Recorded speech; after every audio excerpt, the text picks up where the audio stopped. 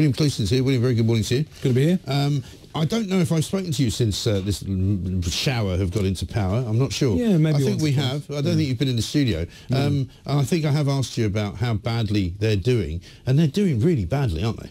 Yeah, it's the worst start to any government Yeah. I've ever witnessed. I mean, most governments... It's astonishing, isn't it? yeah, most governments have a honeymoon, you know, but this government seems determined not to have one. No. They've just gone off. They've gone off with someone else Right. immediately. Yeah, they've So literally got to the uh, got to the resort, and suddenly you know, off. they're off. Uh, clear, Yeah. leave, leave the wife by the pool, Yeah. and they've gone off with a couple of women from uh, from Romania.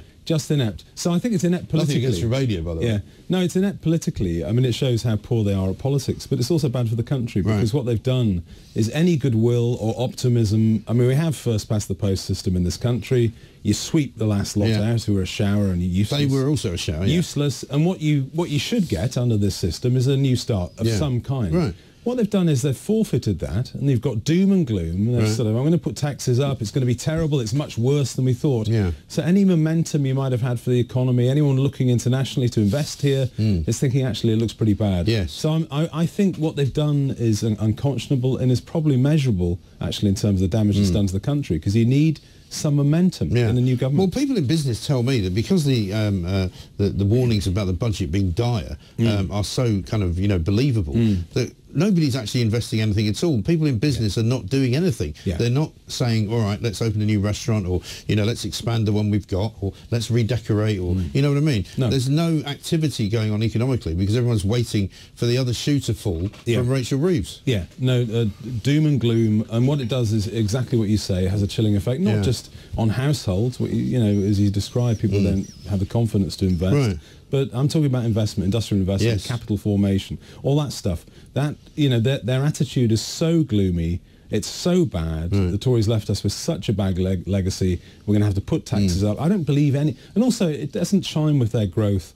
They, uh, they're sort of schizophrenic, aren't they, Mike? Yeah. They say on one hand we want growth, we're committed to growth, and then the next minute they they're basically talking down the country Yeah. and saying it's terrible. And So they're clamping down on, on funds, on finance, on Yeah. every kind of place they can make a tax, they're going to do it. For sure. But what makes it worse for me is the absolute and utter hypocrisy, Hmm. barefaced lies being told by Keir Starmer, Rachel Reeves, Angela Rayner, Hmm. David Lammy, all of them. Um, you know, David Lammy had the, had the absolute gall to go Hmm. on television on Sunday to say, well, of course, you know, Keir Starmer's entitled to get free clothes because he doesn't have a budget to buy them. Well, nobody does. And No. he, he made out that in America, the, the, the, First Lady and the, and the President have a budget to buy clothes. They don't. He was Hmm. wrong about that. No, it's it's it's, it's as I say, it couldn't play worse politically, could it? This, I mean. No. we've got a new Labour leader, and it turns out he's got expensive tastes Right. and expensive tyres and half of them. And it turns out today, pay for. thanks to the Times, he's Yeah. actually been the man who has been in the receipt of most freebies since 2019 Doesn't out of all the MPs. Yeah, Now, how yeah. dare this guy stand there Yeah. as if he's some kind of high moral hmm. arbiter of what we should all be doing? No, and, and and it wouldn't be so bad if they weren't so bossy. Yeah. this is the typical. That's the thing. typical champagne socialist. Yeah, I mean, so at the same time, he's taking all that. He's getting all these freebies, and he's clamping down on everyone else.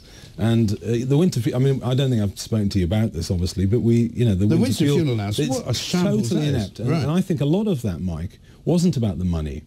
It was about showing who is boss. It was sort of muscular. We're in charge now. Mm. Yes. This is what we're going to do. We're just have punish somebody. And most pensioners don't vote Labour, so Right. you're just going to have to suck it up. And I think it was very brutal, actually. Very brutal politics. and cruel. Yeah, Absolutely right. yeah. Let's have a look at David Lammy because, of course, um, you know he was just over in America, not getting any uh, change. By the way, uh, they talk about change in the Labour Party out of Joe Biden, who basically said uh, to Keir Starmer, "No, you can't sell uh, weapons to Ukraine without Hmm. us uh, going along with it." But now he's suddenly turned his sights on climate change. Today I'm committing to you that while I am Foreign Secretary, action on the climate and nature crisis will be central to all that the Foreign Office does. This is critical given the scale of the threat. The threat may not feel as urgent as a terrorist or an imperialist autocrat, but it is more fundamental. It is systemic, it's pervasive, and accelerating towards us at pace. I would say none of that is true.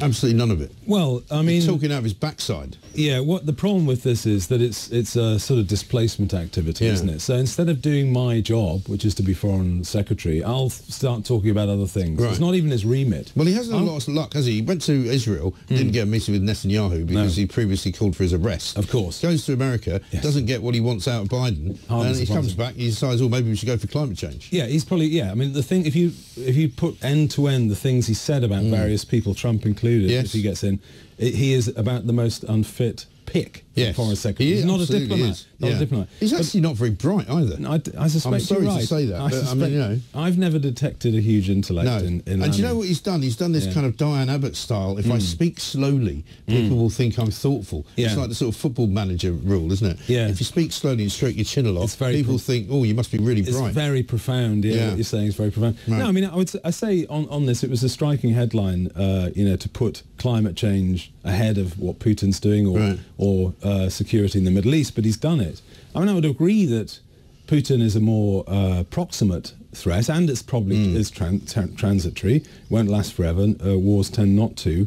Uh, and the climate change issue is a long-term one, but nothing that Lamy does will make any difference to climate change. No. Nothing at all. No. So I would, I- and it's bad discipline on the part of the government Hmm. actually, and the prime minister, because if he's going to run an effective team, they must stick to their remit, Yeah. Mike. You've got to get people focused on what Yeah. their job is. Stick to that. His job is to make us more secure Hmm. and to pursue British interests abroad. But this is one of the things that I said last week. There doesn't appear to be a central core No. to the organisation. You know, when Tony Blair, as much as we might not have liked him as Prime Minister, came in, Agreed. there was a central core. You know, everybody was playing from the same hymn sheet. Mm. Everybody knew what the what the mission was, if you like, and they did things which I think we now regret, but they Yeah. did them and they got on with it. Nowadays, you get people like Angela Eagle goes on Times Radio and they ask her about Keir Starmer's clothing allowance, Mm. and she said, "Well, you should better ask him." Yeah. No, it's Sorry, woeful. what's about a cabinet responsibility? Yeah, they, they, they've got the worst combination actually, Mike, which is which is extreme bossiness and ineffectiveness. You know, it's okay. Actually, you don't even actually have to be particularly liked actually to be an effective prime minister. Right. A lot of people said of Thatcher, I wasn't a fan at all, but uh, you you know.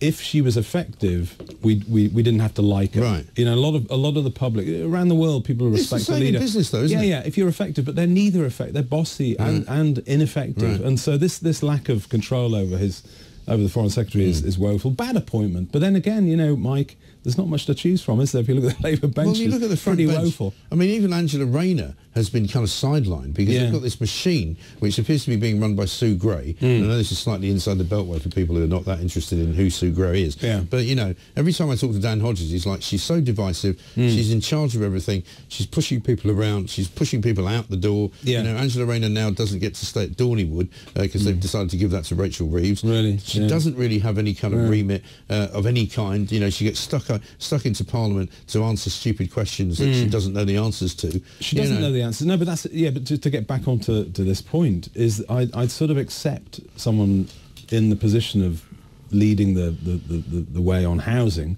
if they knew anything about housing. Right. If she made statements that made any sense. So when she made the statement Well, she knows a thing or two about selling and flipping council she knows about her own house, but she doesn't know how to get 350,000 homes built a year. No. And, and I know a little bit about it, and we're, the SDP is very good on housing, Yeah. and I had a look at the proposals. It has zero chance Hmm. of happening, I promise you, Mike. We could meet in five years' time. They're not going to build one and a half million homes. They can't.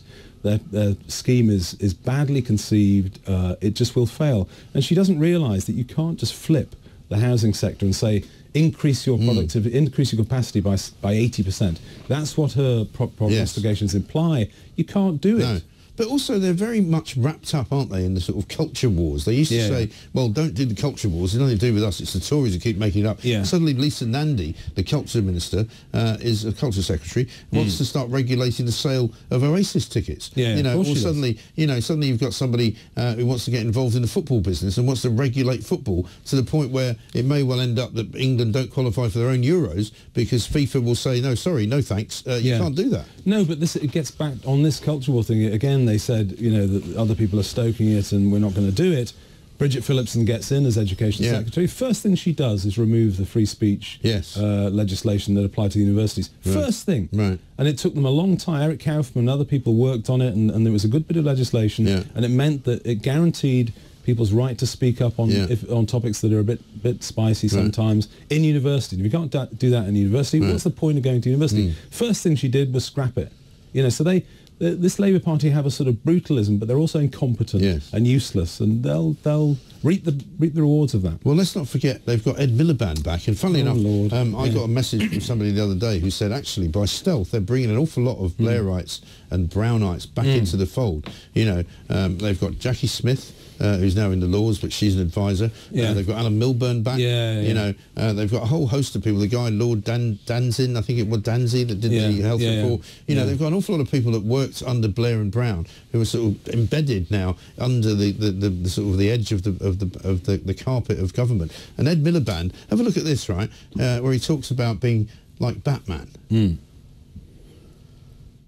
It's 2008. Barack Obama has been elected President of the United States. Usain Bolt is breaking records at the Beijing Olympics and Batman is dominating at the box office. And I'm the Energy Secretary. Yes, like Batman, I've returned. Yeah, but except he's not like Batman. I, wi- I wish he was like Batman. He was a fictional figure. Yeah. Um, you know, and Robin could come along and just assassinate him. But unfortunately, that can't happen. Um, and that would only be in the unreal world, of course, of, uh, of comic books. Yeah. But he is a comic book character, isn't he? It's embarrassing, yeah. For actually a lot of his his, I mean, I know politicians have got to do social media. We all have to do it, but the but some of his his tweets and his uh, to camera things are frankly embarrassing. They are. are not a serious. The one where he did the ukulele out by the wind farm. Sorry, I don't want that in an energy secretary. I want No. someone sensible. But just on the substance of what he says, uh, major, major problems. I see, I listen to what he proposes and I just see a climate change zealot. Someone doesn't understand Right. that gas and oil are still going to be part of our economy for a long, long time. The Labour Party doesn't like it and they're very, very hostile. Mm. And they're spending billions on getting rid of it. Yeah, That's getting rid of I don't get. Yeah, and then and you know, and then look at farmland. So he's gonna he's gonna we're gonna roll out this mass uh, solar farms, Mm. uh, onshore wind farms, and that's going to take valuable agricultural land. You know how many? You know, basically, we import forty percent of our food now, Mike. Right. Forty percent. Right.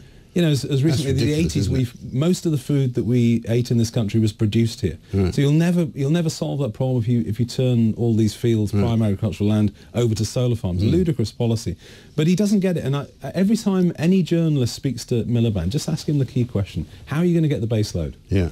And he hasn't got an answer because nuclear energy is the only way we're going to get it if he doesn't like gas. Right. If he doesn't like gas and fossil fuels, nuclear is the only option, and he's weak on that. They're Yeah. looking, they're now prevaricating on a nuclear project in North Wales. Right. Don't prevaricate, get on with it, Right. build them. But they're also now prevaricating on the on the 2030 deadline uh, for the stopping stopping of the sales of petrol and diesel cars and Yeah. hybrids. You know, they're already pushing it back to 2035. I'm glad they are because it's a stupid idea anyway. Yes. Um, Well- but as you say, you know, there's no benefit to the people. No. We're not being told, don't worry, it's going to be cheaper. They told us it was going to be cheaper before the election. No. It turns out it's now going to be more expensive. No, and meanwhile, the High Court uh, has, has, has basically stopped the coal project in, in, in Cumbria, Yeah. which was a specialist coking coal, which we Right. as a party supported.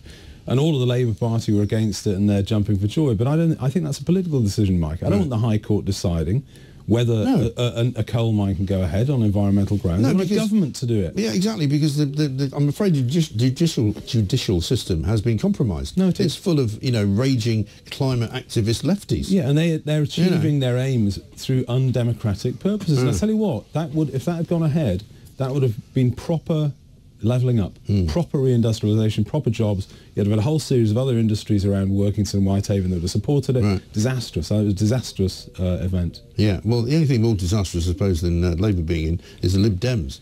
Uh, they just had their conference down in Brighton. Let's have a look at Ed Davey. My first in line. Your dance is free. Take a chance on me. Leave me, let I mean, No place to I don't know what to say about that, really. Um, he can't sing. No. Um, he can't really govern. Um, he's got nothing to offer apart from these stunts that he does. He Yeah. arrived at the Brighton conference on a jet ski, right, in a wetsuit.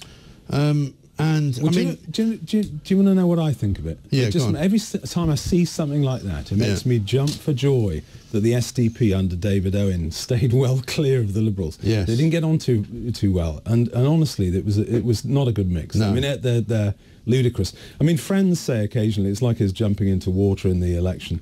uh, and I thought that was absurd. Yeah, Uh, I mean, looking around the stage there, which is the 72 um, Lib Dem MPs, it's like that um, scene from One Flew Over the Cuckoo's Nest when they all go out the boat. Yes. I mean, that's what they look like. Yeah. Yeah, it's all back on the bus, you know. know, come Let's on, go, come on. this way, no sharp Everybody's- movements. Nurse. Yeah. No, no, nurse, come on. Yeah. I mean, Yeah. it is, it's just no, it's mad. pitiable, and as I say, you want very little to do with them. I'm afraid. Yeah, very well said. William, William Clouston there, sensible man. Um, again, um, like Reform, um, a party that have probably got much more to offer than you would even know.